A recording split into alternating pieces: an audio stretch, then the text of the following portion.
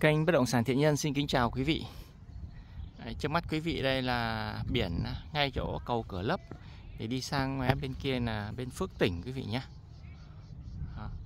Thì à, tôi đang ở đây là trên cái đường à, Chi Lăng, vị trí à, gần với lại ngã tư đường giao với lại đường đường ven biển đấy, đường Võ Văn Kiệt.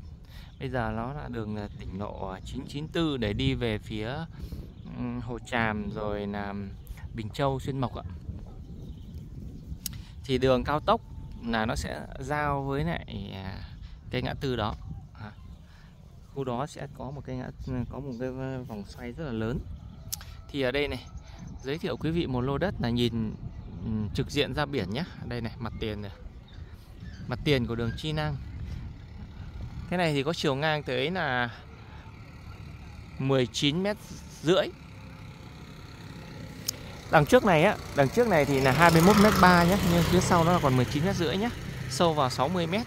Một cạnh là 60, một cạnh là 64 m nhé. Đó. 10 Đó. Cạnh này là 21 m 3 này ha. Cạnh đằng sau nó là 19 m rưỡi quý vị nhé. Và sâu vào là 16 m. À gần 60 m ha. Đây, nhìn trực diện ra biển nhé. Đây biển đây. Đó quý vị thấy à, nó mũi quá. Đây.